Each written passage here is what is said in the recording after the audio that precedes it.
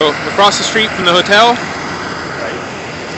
is the Kendall Station, going inbound to Ashmont and Braintree. And you want to go downtown, you want to go to Ashmont, or uh, Ashmont, right? Ashmont and Braintree, yep. Both of them are downtown? Well, it's going to split, but it's going to split long after we get off. Okay. So we're taking the green line to Lechmere. In this case, we're going to Government Center. Okay. So we're going to the blue line, which is the lower level.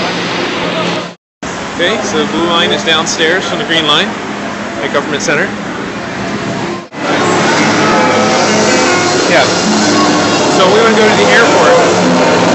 Actually, We're going towards the airport, yeah, we're right? going towards the airport. So we're going to go to the aquarium. So we'll go on this side. Okay. Because over here it says to to airport. To State Street. And just walk out the exit. Hmm?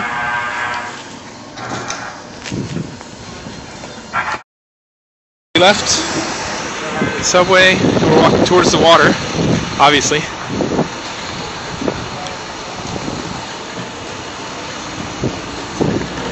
And this is Long Wharf.